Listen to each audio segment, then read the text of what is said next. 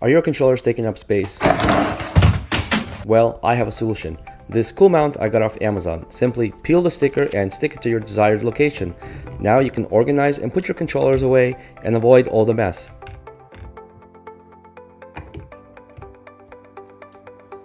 And they even work with your Pro controller or controller with paddles, or you could just use it as a headphone mount.